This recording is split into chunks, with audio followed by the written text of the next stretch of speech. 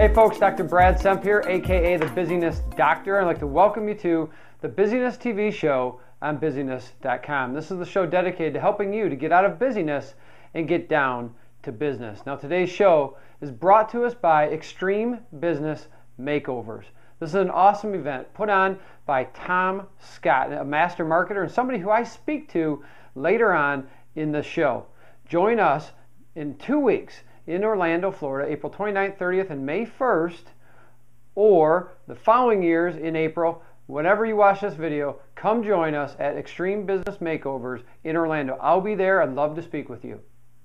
In today's episode, I cover Jamie Oliver's Food Revolution and how I see his show is one of the best things going today and how it plays right into the hands of bucking the system. And then as I mentioned, we're going to interview master marketer and event organizer Thom Scott. And I'll wrap up with a Productivity Sucks episode on Remember the Milk. It's now time for our Buck the System segment. This is a segment in which we take a look at real life examples where people buck the system. They design their actions differently to produce different results. And today I'd like to talk about one of my favorite TV shows. I don't watch a lot of TV, but this is one that I don't miss. This is season two of Jamie Oliver's Food Revolution. Now, season one, he was in, I think it was West Virginia. And because of that show, to this day, none of my children will eat chicken nuggets unless they're made by my wife or I, so homemade. Now, after just the first episode of season two, my children will not eat hamburgers. Actually, they they were kind of turned off after season one, but they will not eat hamburgers, say from McDonald's or Burger King or anything like that. Only again at home. It's powerful, powerful stuff. And it's stuff that you and I need to learn, we need to educate ourselves, and we need to spread the word. So, if you've seen the show and you know what I'm talking about, I'm just going to give you a little push. Go to jamieoliver.com right now and sign his petition. That's one thing that you can do. But here's the deal, and here's why I'm talking about this. Jamie's show it represents Buck the System perfectly. It's about educating, it's about finding a different path. Understanding what's going on in mainstream is not healthy. The food that we're eating, the food chain that is coming into America, is bloated, it's unhealthy because it has had to grow so fast to produce mass quantities, high quantities of stuff for the growing population. So rather than being from the earth, all natural, organic, it's stuff with preservatives, the stuff with high fructose corn syrup. It, it's stuff that can literally damage our bodies, cause cancer, and is causing us all to be fat. Simply put, it's causing us all to be fat. So, in one breath, you may say, well, it's the, the fault of the food. There's nothing I can do about it. That's why I'm overweight. Uh uh you can take action of your own. You can take actions into your own hand by designing for action. Take control and stop letting the stuff of this world, this society, stop eating the way that everybody else does. Do it differently. That's what my challenge has been. I'm still working at it. And that's what I challenge you to do as well. Jamie Oliver, I commend you, brother. Your show is absolutely awesome and it's what America needs. The LA School District needs to get with it, let you in, buck up, and hey, lets you help change the culture of food in America. So I'd like to hear your comments. What do you think about Jamie Oliver's Food Revolution show? If you've seen it, let me know what you think. If you see it, you don't like it, I'd like to hear that too. I'd love to get in a dialogue with you, good or bad, your viewpoint. So share your comments with me below. It's now time for our I Hate Gurus segment. This is a segment in which I interview not gurus, but experts. And today I have a very, very, very, very special guest. His name is Thom Scott. Now, Thom is an absolute, I call him a master marketer. Uh, he's just a, he's become a friend of mine. We met several years, years ago at an event. He's also an event organizer. He works with small lo local businesses to uh, improve their traffic and lead generation and online presence. This guy is brilliant. And he's also a master networker. And so he is the mastermind behind Extreme Business Makeovers. This is an event that I spoke at. I had the privilege to speak at uh, several years ago. It's an event that I pop into uh, every year, and it's it's like a family. And this is an event that I recommend that you check out at extremebusinessmakeovers.com. Now, here it is. Thom and I talk about personal networking and networking at events. So I think you're going to enjoy this. Watch this interview. All right, so Thom Scott, welcome to the Busyness TV show. Thanks so much for having me. Awesome. Well, I'm glad that you're, you're here with us. And the first question that I always ask all of my guests is, you're not really a guru, are you? Absolutely not in some rare cases, I'm someone who you can follow to the other side of where you want to go. But in oftentimes, I'm, a, I'm more the cautionary tale. So, but I'll let you know what, what walls I hit my head against, so it doesn't happen to you as That's well. That's good. So we know where to follow Absolutely. you, where to, where to ditch you. Absolutely. Okay, good, good. Well, it's not that I don't like gurus. I just don't like the word guru. So, mm -hmm. but we bring experts like yourself on. So glad to have you. Glad to have you on here. Thanks so much for being. Awesome. Well, we want to talk a little bit about live, you know, in-person networking. That's really what, what, I'd like to focus on. And you know, you're the mastermind behind Extreme Business Makeover and, and other events. And um, so, you know, first off, I'd like to say, you know, from an event perspective, how how did you get into doing live events? It, it actually came about. I've I've been a marketing mutt for over 23 years now, and worked with a lot of small businesses, corporations. And within the last six years, I started working more and more with speakers and authors.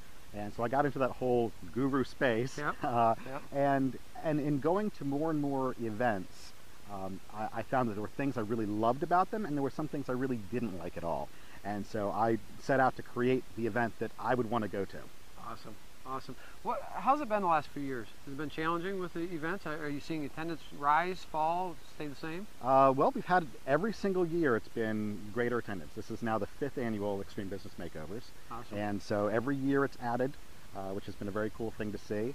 Um, but beyond that, it's been really neat to see the, the repeat people. Those mm-hmm. that are there that kind of treat it like a, a, family reunion every year that get together with people that have been in past conferences as well. Yeah, and I have to say, you know, I, I thank you before having the opportunity to speak at your event several years ago, and I'll tell you, it is like a family. And That's one of the things that I absolutely love, mm-hmm. you know, about about networking. And and so for me, when I started going to live events back in 2006 or 2007, it really changed my business.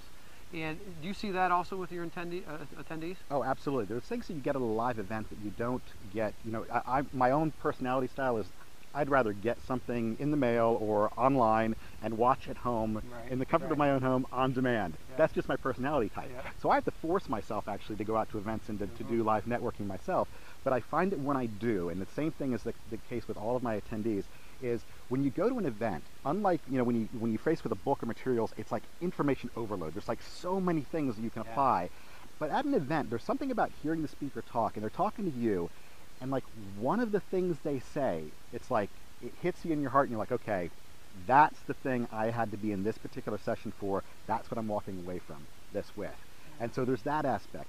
There's the aspect of whenever you invest your time and resources into something, it gives you an extra impetus, a catalyst to move forward in a big way. So usually the, the people I've seen, when they come to a live event, that next three to six months is like killer time for them as far as making big, big progress. That's got to be really, really exciting from as an event organizer to see that. In the end, you know, it's not about the the bucks for the event or not, because there have been a couple of years that I haven't made a thing where I've lost a little bit on it.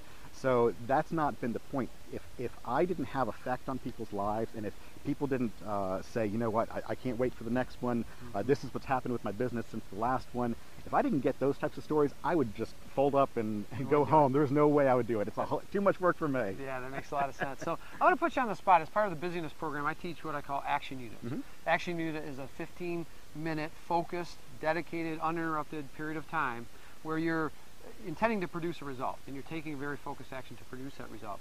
Now when it comes to events, what is something that somebody can do, whether it's in preparation, to coming to an event, or at an event, something that, that folks can do, a tip that you can give them to, to maximize their, their output or you know their reward from attending. Can I give you two separate ones? Absolutely. Okay. Yeah. well, at, at our event, I actually have a, an action form that I create for people because I've seen that the biggest problem with events is people take pages and pages of notes, mm -hmm. then they get home and they put the notes up on the shelf. Right.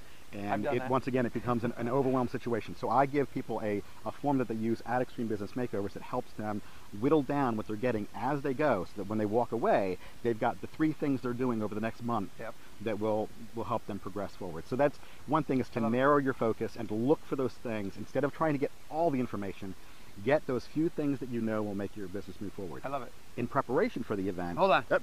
Hold on, I'm going to stop you right there. Okay. Because the next one we're going to save for the unbusy secrets portion. okay, so tune I'm in. Gonna, yeah, yeah. So I'm, we're going to we're to save that because that's what we're going to cover in unbusy secrets, and where I really peel back Thom's brain here and figure out exactly how you can leverage live networking events to, to your advantage and, and really make them worth your time and your investment. So, but first, I want to, as we wrap up here, I really want to talk about your Extreme Business Makeover event. Now, you have an event coming up in a couple weeks. Yes, April right. 29th through May 1st in Orlando, Florida, at the Caribe Royale Hotel. Awesome, and I'll be there, and lots, lots of the family members that have attended before, and, and I'm sure a lot of new, new faces as well. So, absolutely. It, it's absolutely awesome. Where, where can somebody go to uh, find out more information about that? Go to www.extremebusinessmakeovers.com. Awesome, awesome. So, extremebusinessmakeovers.com. Now, again, Unbusy Secrets, come join us there to watch the, the next 25 to 30 minute interview here with, with Thom to really peel back and, and dive into some, some fun stuff. So, Thom, thanks for being here. Thanks and, for having uh, me. Yeah, absolutely. And we'll see you guys behind Unbusy Secrets. Take care. So, welcome back. I hope that you enjoyed that interview with Thom Scott. As you can see, he's very, very knowledgeable in the area of personal networking, amongst other things. But what I'd like to offer to you right now is an opportunity because to hear more. That was a little snippet. We then went on for another almost 40 minutes to really dive in and peel back the onion about how you leverage personal networking and events, how you uh, pick out the right events, how you maximize your time when you're interacting with folks, not in an online world, but in an offline world, right? Very, very powerful stuff. I want to introduce to you right now Unbusy Secrets. It's our, it's our Unbusy Secrets program where you can get access right now to that interview by Thom and two more interviews just like that of 20 to 40 minutes in length per month.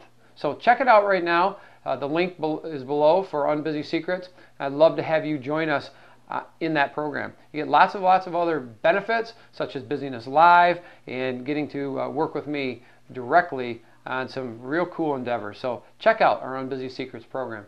And if you have comments about Thom's interview, scroll down and enter them below. I'd love to hear from you. It's now time for our Productivity Sucks segment. This is a segment which I take a look at websites, software, applications, and tool sets that help your productivity to not suck. As part of the business platform, right, we're managing actions. Or, in other words, we're managing tasks. Now, a very popular program that I use right now as well eh, for some instances, for some purposes, is Remember the Milk. So watch this and take a look at the advantages and some of the features that Remember the Milk can bring you. Now today I'd like to take a look at a website, a task management website called Remember the Milk. A very cute name, very fun name, but let's cut to the chase here. This website allows you to manage your tasks from anywhere, just as it says there. And you can sign up for a free account or pay a minimal. Right now, I believe it's $25 for a pro account for a year. But remember, the Milk allows you to manage your tasks, to record your tasks, to get at them from anywhere, whether it's a website, your iPhone, your Android, your Blackberry, your Google Calendar, a Gmail gadget, Twitter, even with Microsoft Outlook integration. So this is an awesome, awesome tool that you're going to want to take a peek at for your own use.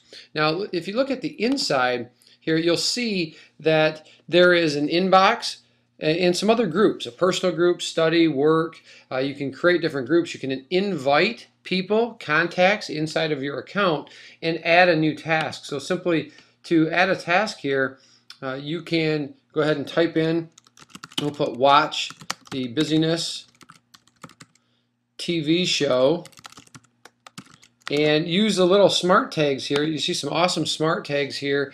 Uh, due dates, priority, uh, listen tags, location. You can read through those yourself, but let's put the little caret in here and say that you need to watch it on Thursday because that's when the next episode comes up. And it is a priority with an exclamation point, priority three. And so it looks funky right there, but as soon as you hit enter and add that task, you can see there, watch the Busyness TV show for Thursday is the task. Uh, then it was added. You can also use some very cool things like uh, track your tasks offline. You can do that by installing a, a Google gadget, Gears gadget. Uh, you can look at locations of where you're at, where tasks are assigned and such, all of your contacts. And the way that this works with your tasks is that it, it really assigns your task to an inbox, just like it was an email inbox.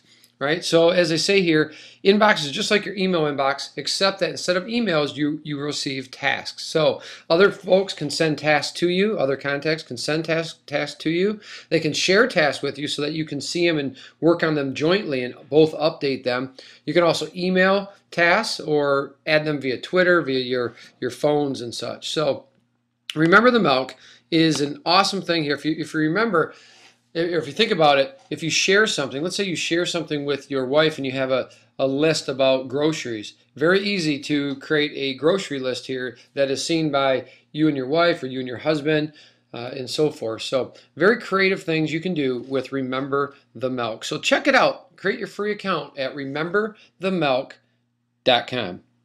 Now, if you enjoyed this episode of Productivity Sucks, I'd like to remind you to come visit us at busyness.com.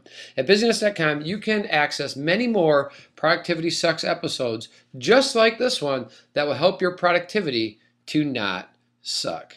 I'm Dr. Brad Semp and look forward to seeing you again on another Productivity Sucks episode as well as the Busyness TV show at busyness.com.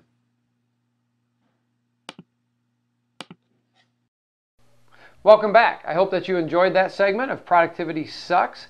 Remember the milk. And as you can see, lots of stuff that you can do with task management and keep your task in line both at, if you're at your computer or if you're on the go via whatever smartphone technology that you have. So check out rememberthemilk.com. If you like that Productivity Sucks segment, we have many, many more just like it.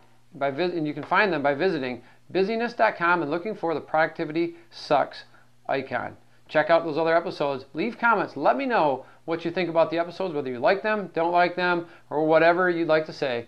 I'd like to engage with you. That wraps up our show for today, the Business TV show, and I hope that you enjoyed episode 16 and all of the different segments. I hope that you left some comments to engage with me. I'll be watching for those and look forward to speaking with you. And I wanted to remind you to get registered if you're not already to receive notifications of new Busyness TV show episodes when they are released each and every Thursday. You can do so by visiting busyness.com and subscribing via email or going to iTunes to subscribe to receive our video podcast. Also, don't forget to like us on Facebook at facebook.com forward slash busyness TV. You can also find us on Twitter at busyness TV. I'm Dr. Brad Semp. I'd like to thank you and remind you to unbusy yourself, and we'll see you back here next week. Take care. Bye bye.